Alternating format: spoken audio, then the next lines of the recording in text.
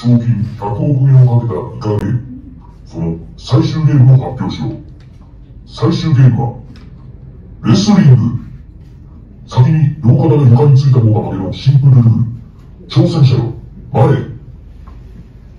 最終ゲームにしてとんでもない月が回ってきたぜ俺は元レスリングチャンピオンだ人生ひっくり返してやる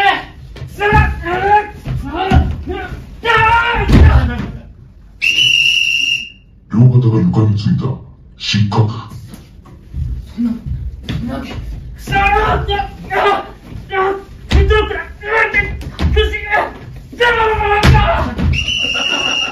失格。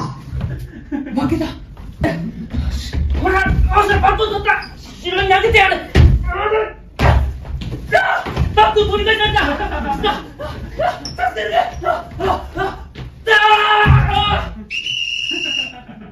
失格。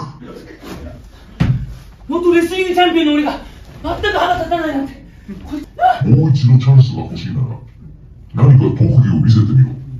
特技？背中ジャンプっていうのがあるんだ見てくれ行くぞ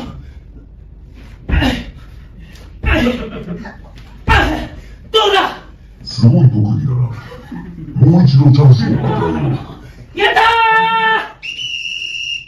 失格。ありがとうございました。